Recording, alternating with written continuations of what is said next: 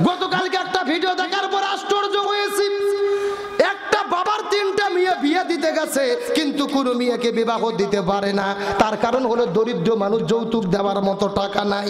যারাই তার মেয়েকে বিয়ে করতে যায়, তারাই তার কাছে যৌতুক চায়। কিন্তু দরিদ্র মানুষ নিজেদের ঘর সংসারটাই তো চালাতে পারে না। যৌতুক কোথায় থেকে দেবে? তিনটা মেয়ে বড় হয়েছে, বিয়ে দিতে পারে না। তার বুকের ভেতরে একটা সাইনবোর্ড লেগে দিয়েছে। ওই সাইনবোর্ডের মধ্যে লিখে দিয়েছে, যৌতুক ছাড়া পাত্র চায় যৌতুক মুক্ত পাত্র চায় এই সাইনবোর্ডটা নেওয়ার পরে বাবা রাস্তায় দাঁড়িয়ে আছে। রাস্তায় দাঁড়িয়ে থাকার পরে হাজার হাজার মানুষ তাকে দেখার পরে তাকে দেখে ছবি তুলতেছে, ভিডিও করতেছে। ওই মানুষটা বুকের মধ্যে একটা সাইনবোর্ড নিয়ে আসে যেখানে লেখা হলো, যৌতুক মুক্ত পাত্র চায় যৌতুক ছাড়া পাত্র চায় তিনটা মেয়ে বড় হয়ে গেছে, বিবাহ দিতে পারে না। একটা মেয়ে যখন বড় হয়ে যায়, বাবা মার কত দায়িত্ব হয়। রাতের বেলা বাবা মা ঘুমাইতে পারে না। কবে মেয়েটিকে ভালো পাত্রের কাছে বিবাহ দেবে? অথচ একটা মেয়ে নয়, তিনটা মেয়ে যেই বাবার বড় হয়ে গেছে, যৌতুকের জন্য যদি বিবাহ দিতে না পারে, ওই বাবার মনে কষ্ট লাগে কি লাগে না?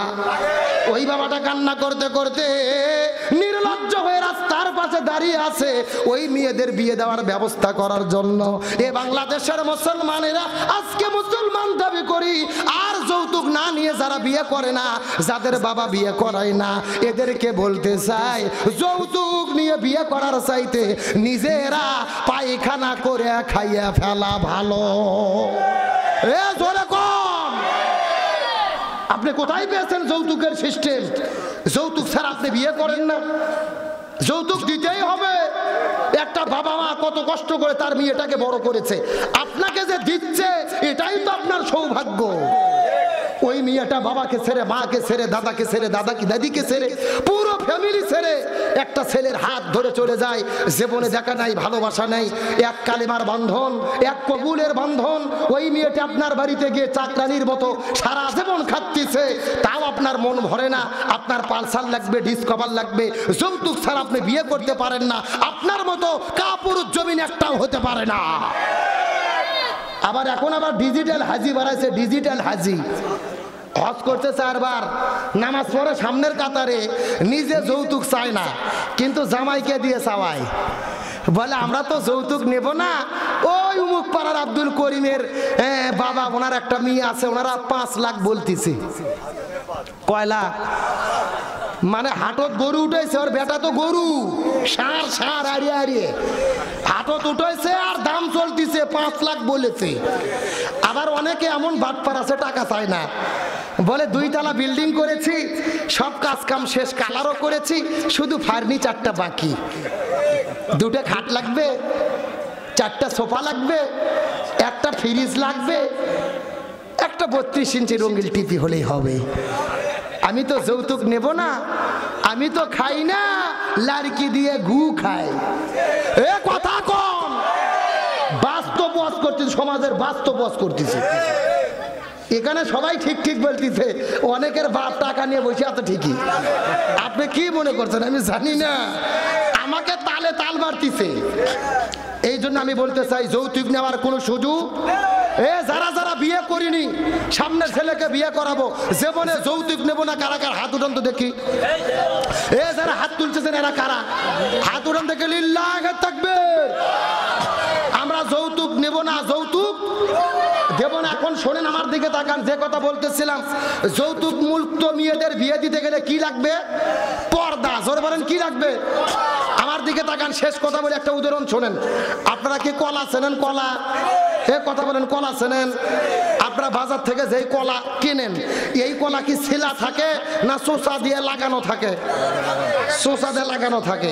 আচ্ছা কোনো লোক, কোনো দোকানারা যদি কলা ছিলে থই শোষা বার করে ছিলে দেখাচ্ছে। ভাই, দেখেন, এক নম্বর মাল, দেখেন দেখেন। সেই মিষ্টি, ভাই।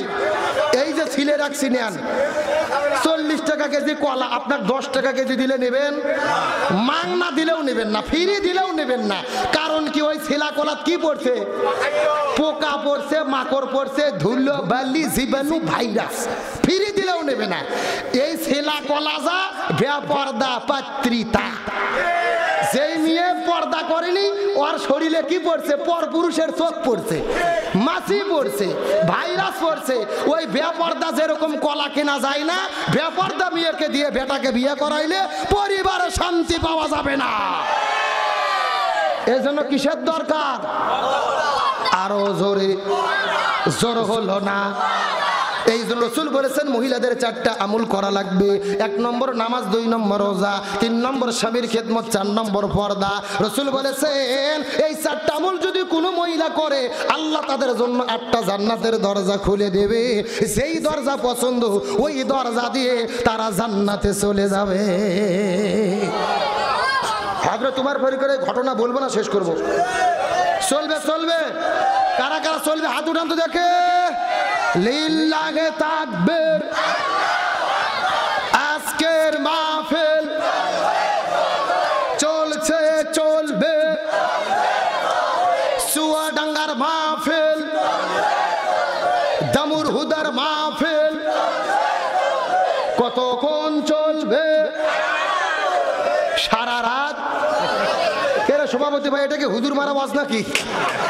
একটা বাজতে দশ মিনিট আছে। পাঁচ মিনিট ওয়াজ হবে, পাঁচ মিনিট মোনাজাত হবে। একটার মধ্যে শেষ ইংসা জিকির করেন, লা ইলাহা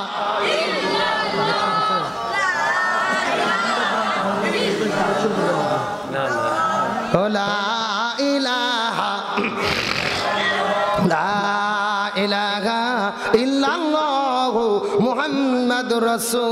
লা সকলে পড়েন, সাল্লাল্লাহু আদর তোমার ফারুক কয় হাজার সৈন্য পাঠাইয়া দিয়েছে? আরও জোরে বলেন। আমার বন্ধুকার মুসলমান ভাইরা, গভীর মনোযোগ। আজকের মাহফিলের শ্রোতা যদিও কম, কিন্তু আপনাদের অ্যাক্টিভ কিন্তু ভালো, আলহামদুলিল্লাহ। এই জন্য শেষ আলোচনাটা আপনাদের করে শোনাই যাচ্ছি। নতবা বহু আগেই কিন্তু শেষ হতো, আপনাদের ভাব খারাপ হলে শেষ কথাগুলো সুন্দর করে বোঝার চেষ্টা করবেন। খালিদ বিন অলিদ রাজি আল্লাহ দশ হাজার সৈন্য নিয়ে ওই মসজিদ আকসাটা ঘেরাও করে ফেলেছে। ওই যে ইহুদি খ্রিস্টানের গোয়েন্দারা রেপদ দিয়েছে, মুসলমানদের সঙ্গে যুদ্ধ করা তো দূরের কথা, তাদের দেখলে অন্তরে কি শুরু হয়? আরও জোরে বলেন। আজকেও বাংলাদেশে কত ধরনের দল আছে? বিভিন্ন দল আছে। কত দল কত স্লোগান দিয়ে মাঠের মধ্যে নামে। কত দল লক্ষ লক্ষ মানুষদের সমাবেশ করে। জালেমরা কিন্তু ভয় পায় না। অথচ ইসলামী আন্দোলনের কর্মীরা, শহীদি কাফেলার ভাইরা, আল্লাহর তাকবির দিয়ে যখন মাঠে নামে, তখন জালেমের অন্তরে কাঁপনি শুরু হয়ে যায়। ইহুদি খ্রিস্টানেরা ডাকদা বলেছে, মুসলমানদের সঙ্গে যুদ্ধ করা যাবে না। তাদেরকে দেখার পরে অন্তরে কাঁপুনি শুরু হয়ে যায়। ইহুদি খ্রিস্টানেরা সবাই মিলে বুদ্ধি করল, এখন তো মুসলমানদের সঙ্গে পারা যাবে না। আস্তে করে খালিদ বিন অলিদের কাছে যাওয়ার পরে ডাকদা বলে, এ খালিদ বিন অলিদ এই মসজিদ আকসা বিজয় করতে এসেছ। আমরা তোমাদের সঙ্গে যুদ্ধ করব না। এই মসজিদটা তোমাদেরকে দিয়ে দিতে চাই। তবে শর্ত হলো একটা, তোমাদের অর্ধ পৃথিবীর খলিফা উমার ফারুককে মদিনা থেকে ফিলিস্তিনে আসতে হবে। উমার ফারুকের হাতে এই মসজিদে আকসার চাবিটা তুলে দিতে চাই। কাকে আসতে হবে? আরও জোরে বলেন না। এই কথা বলার পরে খালিদ বিন অলিদ যখন চিঠি লিখে দিলেন হাজর তোমার ফারুক রাজি আল্লাহ তারা অর্ধ পৃথিবীর খলিফ, ওই মদিনার মধ্য থেকে বের হওয়ার পরে একটা গোলামকে নেওয়ার পরে উটের পিঠে চলে রওনা করল। ওই গোলামটা রশি ধরে হেঁটে হেঁটে হেঁটে হেঁটে সামনে যায়। উমার ফারুক রাজি আল্লাহ তালান পিঠে চড়ে চড়ে চড়ে চড়ে যায়। কিন্তু আকাশের ভেতরে সূর্যের এত বেশি তাপ, এত বেশি গরম, ওই বালিগুলো কিন্তু আগুন হয়ে গেছে। তিরিশ মিনিট যখন গোলামটা হেঁটে হেঁটে সামনে গেছে, উমার ফারুক লক্ষ্য করে দেখে, ওই গোলামের পায়ের মধ্যে থেকে ঝরঝর ঝরঝর করে রক্ত বের হয়। ওই রক্ত দিয়ে বালিগুলো লাল হয়ে গেছে। উমার ফারুক ডাক দে বলে, গোলাম রে, এইভাবে যদি তুমি মসজিদ আকসাই যেতে চাও, রক্ত বের হয়ে জীবন চলে যাবে, যেতে পারবা না। বরং আমরা দুইজনে মিলে শর্ত গ্রহণ করব। তুমি এক ঘণ্টা উটের পিঠে সরে থাকবা, আমি এক ঘণ্টা হেঁটে যাব। তারপরে আমি এক ঘণ্টা বসে থাকব, তুমি এক ঘণ্টা হেঁটে যাবা। চিৎকার করে বলা যাবে কাল্লাহ আকবার। অর্ধ পৃথিবীর খলিফার আদর্শ কেমন? বোধার দেশটা কর এই কথা বলার পর উমার ফারুক রাজি আল্লাহ আর ওই গোলামটা ভাগাভাগি করে বদলা বদলি করে এক ঘণ্টা করে করে বদলে বদলে যাওয়া শুরু করলে যেতে যেতে যেতে যেতে মসজিদ আকসার কাছে চলে গেছে। চতুর্দিক থেকে হাজার হাজার ইহুদিরা ঘেরাও করে নিয়েছে। কিন্তু এমন একটা আশ্চর্যজনক ঘটনা, ওই মসজিদ আকসার কাছে উমার ফারুক যখন চলে যাবে, লক্ষ্য করে দেখা যায়, উমার ফারুক রশি ধরে ধরে হেঁটে হেঁটে চলে যায়। আর গোলামটা উটের পিঠে চড়ে চড়ে চড়ে চড়ে চলে যায়। চতুর্দিক থেকে ইহুদেরা চিৎকার করে ডেকে ডেকে বলে, এরা মুসলমানেরা আমরা তো দিন শুনে চর্দ পৃথিবীর খলিফা। উমার ফারুক দেখতে খুবই সুন্দর। অথচ উমার ফারুককে তো ভালো দেখা যায় না। উটের পিঠে চলে আসে একটা হাফসি গোলাম। দেখতে কালো, বেলালের মতো কুৎসিত কালো। সেটাই নাকি তোমাদের খলিফা, তোমাদের কাছে জানতে যায় খালিদ বিন অলির ডাক দে বলে এই ইহুদি খ্রিস্টানের বাচ্চারা, তোমরা ভালোভাবে জেনে নাও। উটের পিঠে যে সরে আছে, ওটা আমাদের খলিফা নয়, বরং রশি ধরে ধরে ধরে ধরে যে হেঁটে হেঁটে চলে আসে, ওটাই হলো আমাদের অর্ধ পৃথিবীর খলিফা।